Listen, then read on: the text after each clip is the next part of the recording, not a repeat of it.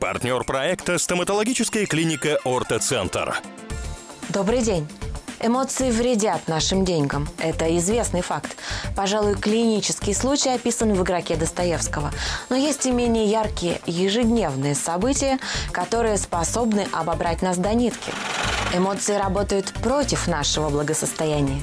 Причем неважно, позитивные или негативные. Представьте, в этом месяце вы заработали больше, чем достаточно. И знаете, конечно, куда направить дополнительные деньги.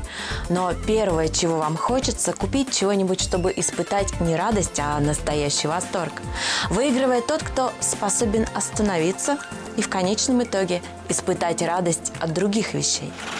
Или же вам грустно? Вы хотите развеяться и немного улучшить свое настроение.